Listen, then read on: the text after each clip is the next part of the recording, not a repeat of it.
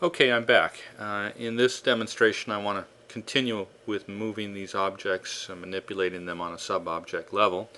And what I'm going to concentrate now on is to show you how to uh, use the gizmos inside of AutoCAD to control the movement of the sub-objects as well.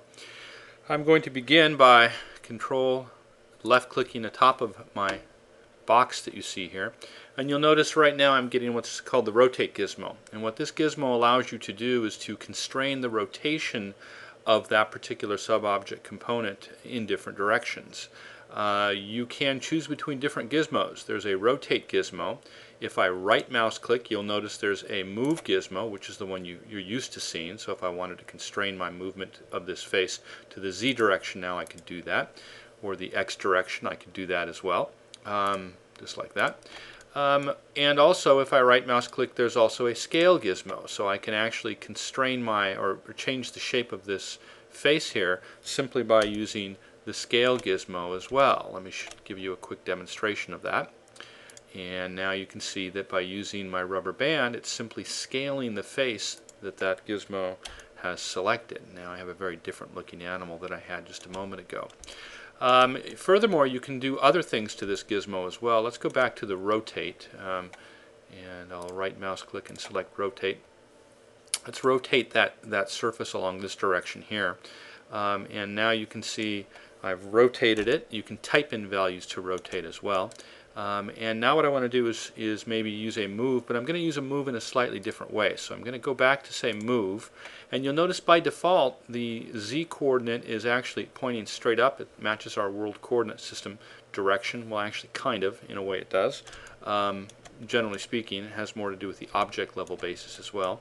Um, but what I want to do is to actually move this face perpendicularly or in the direction of what's called the normal of the face. So I actually want to move it so that it moves perpendicularly away from itself where it's at now. To do that all I have to do is right mouse click and I can choose custom gizmo. You can also use align gizmo with a current face and that's what it's doing right now by default. You can see face or with the world coordinate system or a current coordinate system.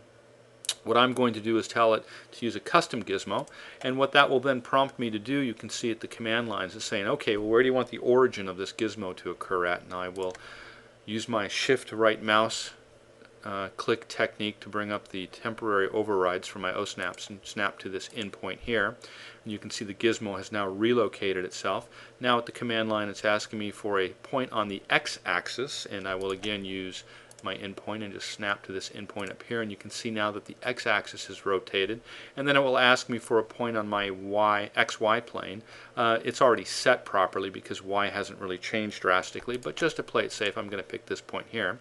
If I had rotated this plane so that this back edge was higher I'd obviously have to pick that point so that my y rotated upward to match um, and now you can see that my gizmo has actually transformed itself so that it's actually aligning with the face of this object. So now if I want to transform along the z-axis, there's the axis that's direct, that's perpendicular to the face that it was at before. So now I can actually move that object. Uh, and why is the whole thing moving with me?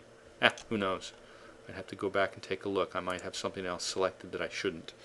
Um, at any rate, so there you can see is the technique you can use to uh, move faces except this one's not cooperating entirely with me. Um, but you know what? That's the way it goes sometimes. Uh, it works fine until I actually left click. Um, at any rate, um, hope that helped.